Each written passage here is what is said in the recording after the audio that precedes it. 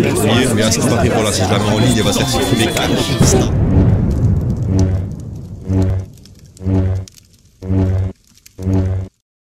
Salut les gars Aujourd'hui, petite critique ou plutôt analyse sur la chaîne de Gentleman Pikachu. D'ailleurs, je vais l'appeler Jumpy parce que c'est super chiant de dire à chaque fois Gentleman Pikachu, Gentleman Pikachu, Gentleman Pikachu. Bref, vous voyez ce que je veux dire.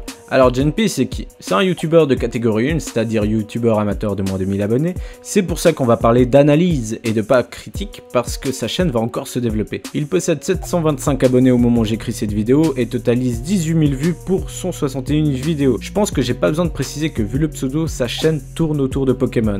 Et il y en a pour tous les goûts, des let's play, des ouvertures de boosters, des présentations de goodies, des pocket trouvailles qui sont faites un résumé de retour en brocante. Vous l'avez encore une fois compris, il touche à tout, donc toutes les personnes aimant la licence Pokémon trouvera du plaisir à regarder ses vidéos. D'ailleurs, je peux que vous encourager à vous abonner à sa chaîne si vous aimez Pokémon. Alors là, on va parler de la personne, ou plutôt de ce qui fait ressortir dans ses vidéos. Genpi, c'est quelqu'un débordant de bonheur tellement que j'en veux mis des arcs-en-ciel à chaque vidéo. Toutes ses vidéos sont présentées dans le plus grand calme. À vie personnelle, je trouve que c'est quelqu'un de génial, très proche de sa communauté, dont j'en fais partie. J'ai eu l'occasion de parler avec lui sur Discord, il n'est pas faux loin de là et il est très à l'écoute de son public. C'est rare de voir quelqu'un qui prend le temps de lire les commentaires et d'y répondre. Et pour ceux qui disent c'est une question qu'il a peu d'abonnés, ah, je dirais plutôt que c'est une question de volonté, car quand on veut, on peut. Bon, c'est un résumé un peu rapide, mais on parle YouTube, je vais pas rentrer dans la vie privée non plus. Maintenant, on va parler de sa chaîne. Mais pour la suite, je vais directement m'adresser à toi, mon Pikami, mon ami Pika, mon gentleman ami Pi... Euh, bon, ça va un peu trop loin. Alors, est-ce que tu es prêt, poto C'est parti. Alors, d'abord, un truc qui m'a tapé à l'œil, c'est tes miniatures. Je vais pas parler de la bannière et du logo, car elles te représentent bien, elles sont simples, elles sont jolies, mais les miniatures, je trouve ça vraiment dommage. Les miniatures de Let's Play sont travaillées, mais pas le reste. Pourquoi? Alors oui, il y a de l'idée, genre celle des Poké-Trouvailles ou encore celle des Poké-Colis, mais là où je veux en venir, et je préviens, ce que je veux dire c'est vraiment personnel, une miniature qui est juste une image trouvée sur internet donne pas forcément envie de cliquer. En plus, ça reflète vraiment pas le contenu de la vidéo. Alors qu'une miniature travaillée donne un aspect un peu plus professionnel, je dis bien un peu, et en plus ça te permet d'ajouter des trucs. Bah j'ai remarqué dans certaines vidéos que je ne vais pas diffuser, étant donné que tu es très à l'aise avec ton image, je trouve ça réellement dommage de pas nous en faire profiter dans les miniatures. En plus, je trouve que t'as plus de charisme qu'un célébi. Maintenant, on va parler des vidéos. Alors, déjà, un bon point pour toi, ton début de vidéo est cool. Quand je dis le début de vidéo, c'est les premières phrases, ou plutôt comment il commence ses vidéos. Le fameux Coucou les petits pika, coucou les petits pika, coucou les petits pika. C'est simple, et ouh là là là là, ça change des clowns de David Lafarge. Par contre, petit détail, je sais, j'aime bien chipoter, c'est vraiment dommage que t'aies pas d'intro ou d'outro. Parce qu'une intro, c'est facile à faire, même un mini truc, genre ça. Pikachu? Ou comme outro, je sais pas, une image aussi, ça peut le faire. D'ailleurs, je vois que certaines personnes t'ont fait des intros, ce serait vraiment dommage de pas les utiliser, vu que c'est gratuit, et en plus ça fait la pub à un abonné. Alors, dans la partie vidéo, je vais pas parler de la qualité de la caméra ou autre, car c'est une question de moyens, et si tout le monde devait avoir un bon matos pour commencer, ça fait longtemps que j'aurais arrêté les ouvertures de booster. Mais je vais plutôt parler de montage, et j'adore ça. Alors, sans parler d'incrustation d'images aléatoires ou d'extraits de films drôles ou pas, car ce sont des, plus pour certaines vidéos, mais dans les ouvertures de cartes, euh, ça sert à rien. Par contre, un truc qui est très utile dans ces vidéos, c'est les cuts. Alors après, il faut pas abuser non plus, hein, car une vidéo qui ressemble à ça... Salut, c'est Web, mon compagnie Power Collection et... Deux.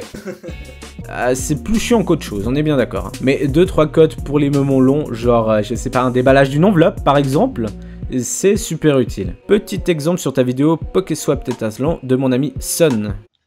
Coucou les petits Pika Alors aujourd'hui on se retrouve pour une petite vidéo ouverture de colis de mon ami Sun. J'espère que vous allez bien, moi bah je vais très très bien. Alors mon ami Sun il m'a déjà envoyé un colis, je lui avais envoyé aussi deux petits colis. Vous irez voir sa chaîne, alors il fait euh, des ouvertures de cartes Pokémon, il adore la nature, il fait des super beaux reportages photos, il fait des beaux montages. Franchement c'est un ami en or, alors je te fais des gros bisous mon ami Sun et on va s'ouvrir ça tout de suite. Ouais c'est super bien. Alors il y a des chantiers mais bon, au moins on voit qu'il y a pas mal de choses les amis. Alors je ne sais pas si vous avez tout voir, de toute façon, je vais vous le dire. Mini Pokéswap, à mon tour de te proposer un petit Pokéswap. Alors, pour ceux qui ne savent pas, pour les nouveaux arrivants de la chaîne, parce que pour ceux qui ont euh, déjà fait, comment des, des vidéos Pokéswap qui ont comment dire, suivi ma chaîne, excusez-moi, je suis ému, c'est pour ça. Ils savent ce que c'est. Alors, un Pokéswap, c'est on s'envoie des cadeaux sur le thème Pokémon et on fait des petites devinettes pour trouver les amis. Alors, il m'a marqué. À mon tour de te proposer un petit Pokéswap. Tu as 5 boosters, 5 cartes plus une secrète. À toi de deviner à l'aide des petites phrases de dessus, euh, de dessous, excusez-moi. Numéro 1. Celui-là est une nouvelle rareté. Une secrète, c'est euh, c'est incrusté dans ce booster.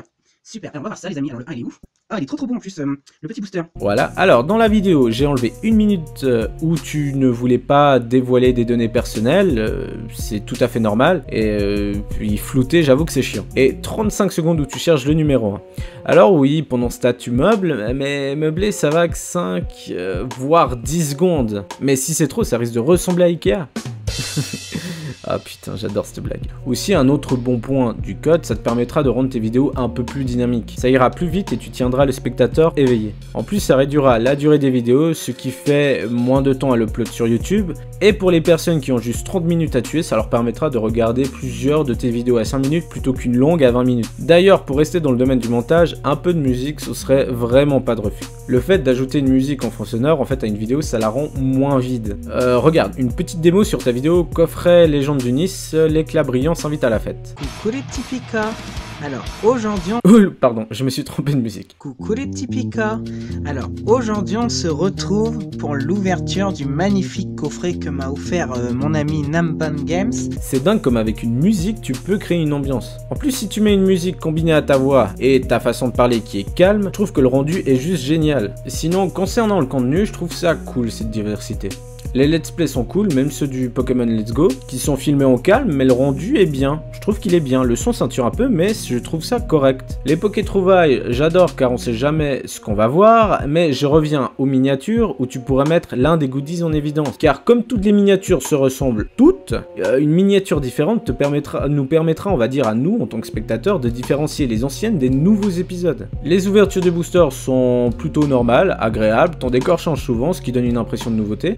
Qui concerne les Pokécolis, sur ce coup, tu me rends jaloux, j'avoue. Car quand je vois ce que tu reçois, j'avoue que je suis jaloux, mais également frustré, putain. Pourquoi? C'est cool de voir ce que tu reçois, mais si c'est des boosters, ce sera encore plus cool de les voir ouverts. Alors, je vois ce que tu fais. Tu sépares les vidéos réception et les vidéos ouverture. Euh, mais pourquoi ne pas faire du 2 en 1 Alors oui, les vidéos seront plus longues, mais si tu utilises le code, pas forcément. Bon, je pense avoir tout dit. Comme j'ai dit, tout ça, c'est des améliorations que je conseille et non pas des points négatifs, qu'on J'ai pas écrit cette vidéo comme une critique, mais plutôt comme un spectateur. Pour le moment, t'es encore une petite chaîne en développement, du coup critiquer ça sert à rien. D'ailleurs, moi aussi je suis une petite chaîne, donc euh, me critiquer ça sert à rien. Mais me conseiller sur des améliorations, c'est plus utile. J'ai hâte de voir ta chaîne progresser et de voir ton contenu évoluer. Merci à tous d'avoir vu la vidéo jusqu'à la fin. Si vous avez des chaînes à me conseiller ou même la vôtre, hein, n'hésitez pas. C'était Webster et je vous dis à la prochaine. Bye